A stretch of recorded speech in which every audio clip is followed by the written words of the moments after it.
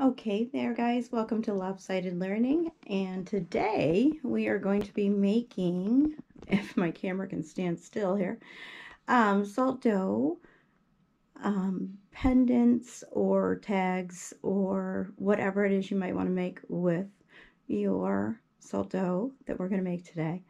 Um, there's only three ingredients that it needs, and I'll get into that. Um, but I wanted to make sure you guys knew that you're also going to need um, paint brushes, and you're going to need some acrylic paint if you plan on painting your creation. We'll just call it that. And go ahead and set your oven to 250 degrees. Um, and that's what we're doing today. So let's get started. First things first, for those of you like me, these things here, these beauties, our rings, yeah, we're going to take those off and we're going to put them in there. And this is a different type of clay here. This isn't one of the salt um, mixes for clay. Um, this is actually polymer, polymer clay, and I will do another video on that. Um, but yeah, my son made me that. But put, take your rings off because you're going to get them, your hands dirty, and it's hard to get things out of stuff. And then what I've got here, my friends, are the items you're going to need that are not food related. So you need a metal baking pan. For some, I have a pizza pan because I think all my other pans are in use for some reason. Um, you're going to need a toothpick um, if you're making the pendant to poke a hole through. Um, there's other options out there. You, I mean, you can even use like a, I don't know, if you're into Legos or Star Wars, you can even use like a lightsaber, for heaven's sakes, to poke a hole. Um, anyway, I have to get my Star Wars in. You also need a chopping board, and that's where we're going to be kind of getting the clay going. And you're going to need one of these goodies. A good old-fashioned wooden spoon. Okay. Then you of course are going to need yourself a beautiful mixing bowl. And I think that should be just fine considering um, how much we need. And then these here, I'm going to show you now, these are the items needed. So these are the three ingredients that I was talking to you guys about earlier. So the only three ingredients you need. Hopefully you have them on hand. You need a half cup flour. Don't worry, I already measured it out. You will also need one fourth cup of water. And then just one fourth cup of salt. Okay? Now, optional, yes. Practical also. Let's come over here optional cookie cutters or templates. Now, not only do cookie cutters make good templates for paper, but they also are wonderful for salt dough. I'm sure um, kiddos out there and people have used this before. Um, we're going to use it to make a pendant though. Um, so I just got some smaller ones that I had out. Okay. So we know we're going to start preheat our oven to 250. We know all the ingredients and things that we need, um, all the items, and um, I think we're ready to get started making our lopsided learning pendants or figurines. All right. Okay, hi guys. I am back and we're going to start doing our mixing now that we've gone over everything that we need. The first thing you're going to do is we have to mix the two dry ingredients we have. So we have our half a cup of flour and we're just going to pour it right on in. Ta-da! Then our fourth cup of salt. Pour it in. Now what we're going to do is we're going to mix the dry ingredients. So the flour and salt are going to be nicely mixed together. And this is, my son the other day, we made this and he asked if we could eat it. I, I'm like, it wouldn't be very good. It'd be very salty, yucky. But anyway, so we stir it. And it looks like it's mixed up pretty good. Now with the water, we're going to do it a little bit differently. We got to go slowly, slow increments. Okay, so I'm going to do a little bit just to wetten that flour and salt mixture. And probably, I should have said this earlier, but wear a messy shirt or an old shirt with holes in it or something, just in case you get dirty. Then again, it's just flour, so it won't really hurt anything. You're probably going to be in more trouble come time to paint, but we'll get there in a minute. That would be like way steps ahead of ourselves. A little more water. All right. It is absolutely amazing what you can just do with three ingredients and the really nice things you can make. All right. The last the water is going in. Getting it in there good. Mixing it around. Reminds me a little bit of pizza dough or something. Look at that. mix, mix, mix, mix, mix, mix. So it's kind of crumpled up, but what I'm going to do is I took my rings off and I'm going to get in there and I'm, I, it's just a lot easier, I think, when you can get a hold of the dough. And I know a lot of people might not like the sensory feeling of dough. It doesn't bother me much. And of course, I'm, I'm an OT, um, so I like these sensory experiences. um, or I've learned to like them, or I've adapted to them, maybe you want to say. But this is a neat little sensory um, a neat little sensory experiment along with arts and crafts and eye-hand coordination. And here I go getting into all of the good things this has to offer. Just make it meaningful. I'm going to be making a pendant, but if you truly just want to make yourself a figurine or something else, please do. It's got to be meaningful to you or else there's no reason to do it. But these three ingredients in everybody's home, I hope. and we're going to do some really cool things with it. So, I'm pretty happy with what I've got here. I'm going to take these little extra pieces and put them in the bowl off to the side. And I'm going to move my little bowls for tidying up later and put them aside. It's always the worst part is cleanup. All right, I've got my cutting board here.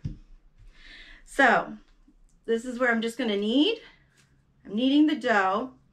And what I'm gonna do is just keep on doing this and make it up into a nice little ball. And then what we're gonna do is I'm gonna come back after I wash my hands and such. And we are going to make ourselves either a pendant or figurine or whatever it is you would like. Thanks for tuning in. Stay tuned. I'll be right back. Okay, hi guys. I am back. Sorry, my camera was giving me a few more issues as usual, but it's okay. We got it taken care of. So here I am with our salt dough and we're about to make a couple pendants and I'm super excited. So I have kneaded up the dough and now I'm going to turn it into this ball. Um, it feels so nice. It's a nice sensory experience. It feels really cool. And, you're, and you'll start to feel like when it's ready. You'll know by the consistency.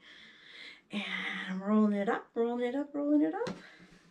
And now I am going to press it down to get to a nice, even kind of level. It doesn't have to be perfect.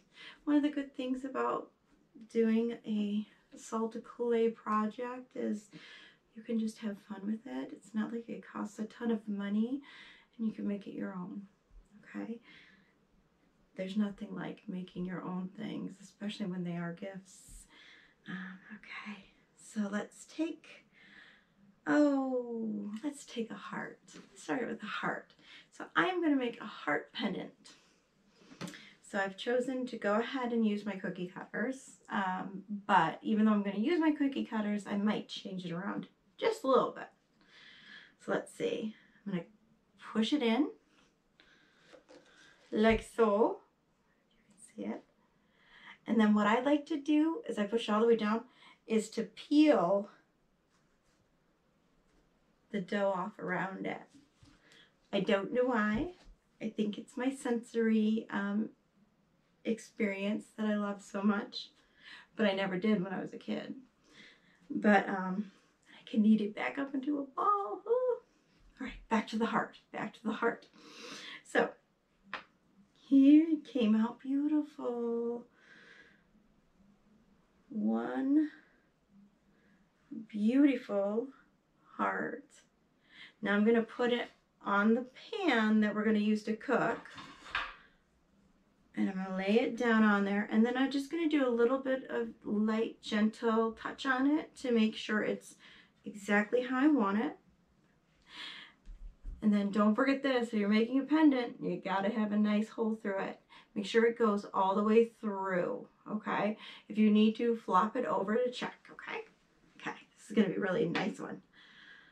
Get the hole, punch through, all the way through. Perfect. That is a perfect heart. No way, right? It's amazing. I'm going to try one more thing because I like to get a little creative so you guys can try something a little bit interesting and fun if you want. So what I'm going to do is just try to quickly flatten this out. And I'm going to use the heart one more time. Oh, look at that. Peel it away.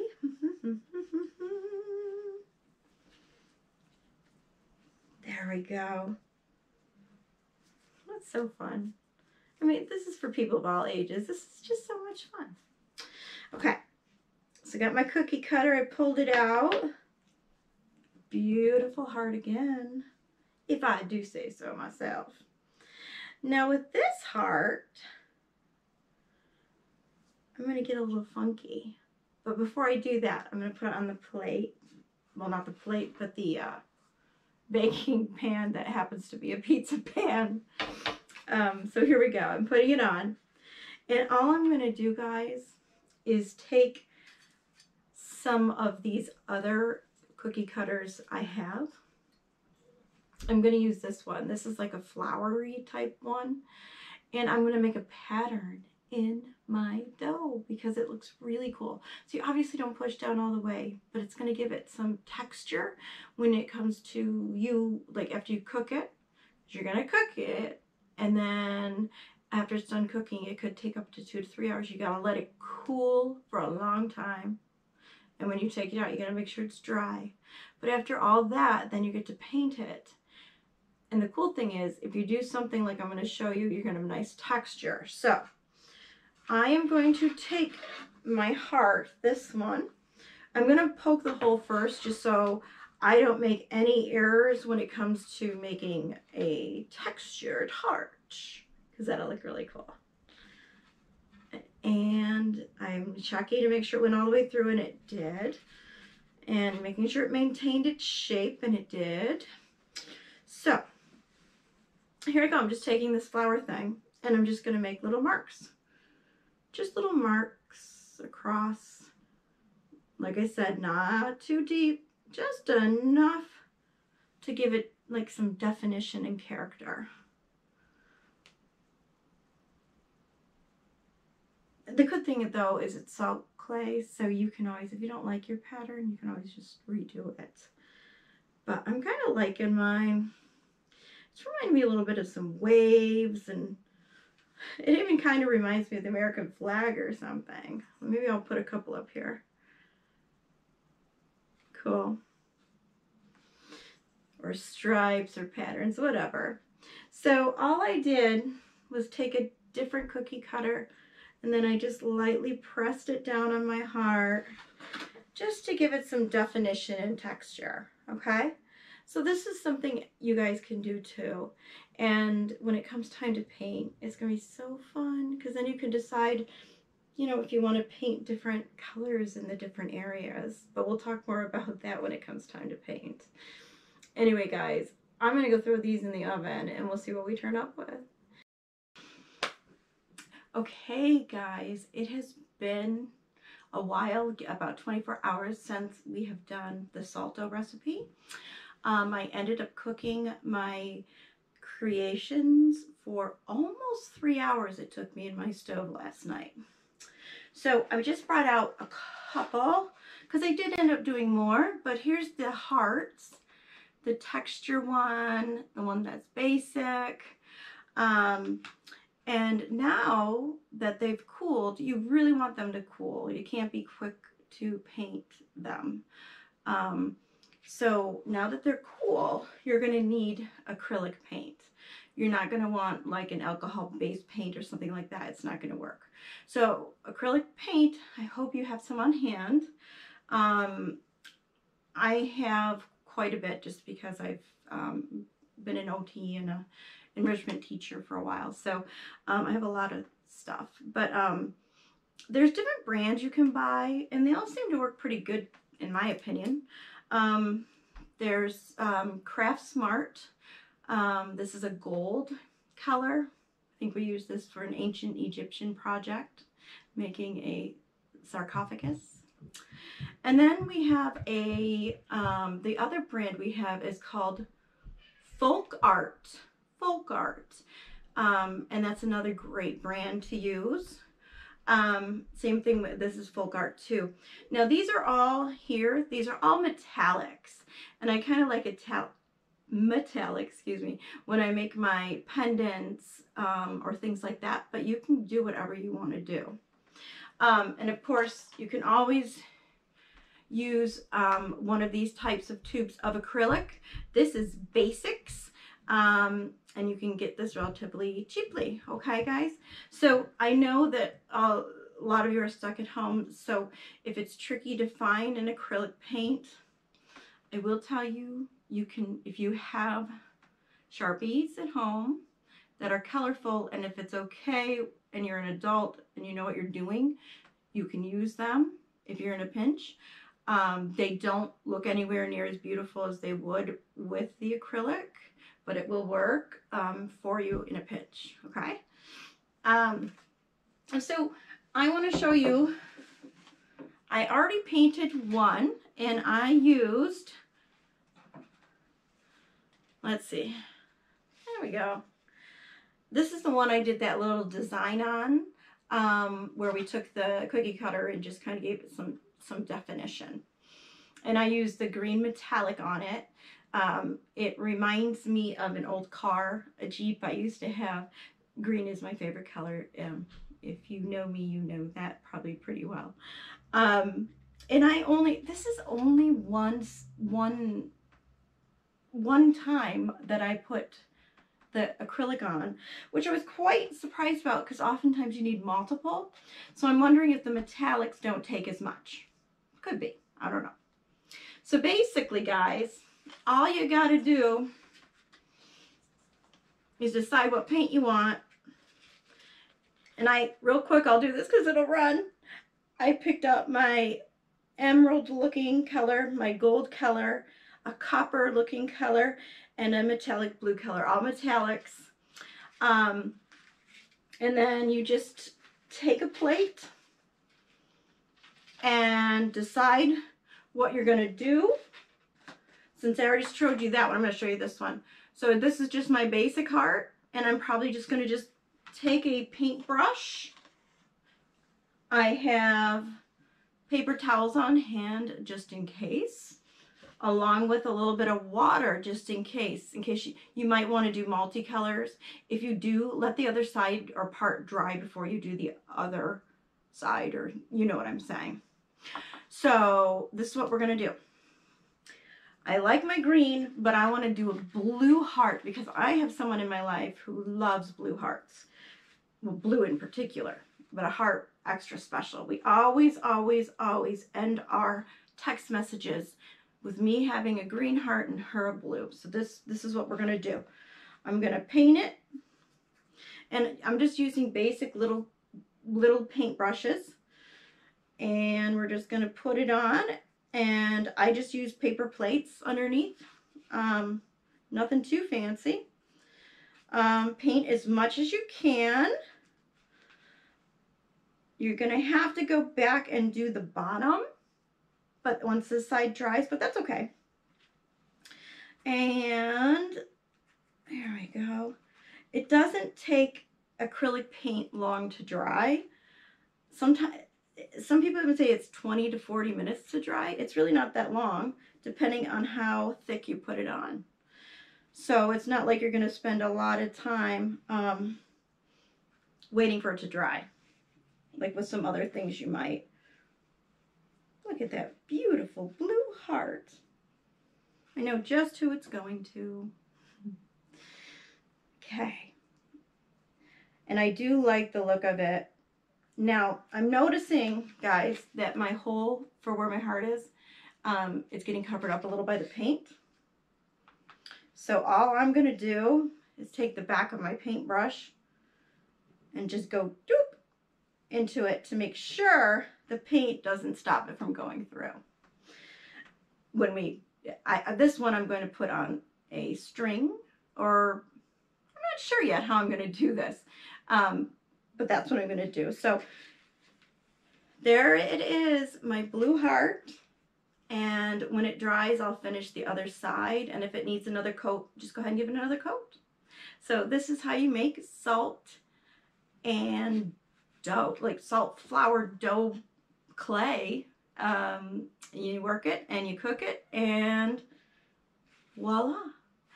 I'll catch you guys next time. If you do like this video, please give it a thumbs up or a like or whatever. I wonder if you could do a thumb hit. That would be cool. And then don't forget to subscribe because we have some more videos coming up very shortly. Have a great night, guys, and stay healthy and happy.